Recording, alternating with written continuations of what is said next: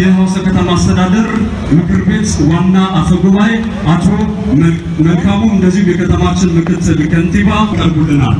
የሲዳማ ክልል ልዩ ኃይል የባንዲራ ስጦታ ክልል ፖሊስ ልዩ ኃይል በቀጥታ የሲዳማ ክልል ባንዲራና የኢትዮጵያን ባንዲራ በጋራ የሚቀበሉ ይሆናል።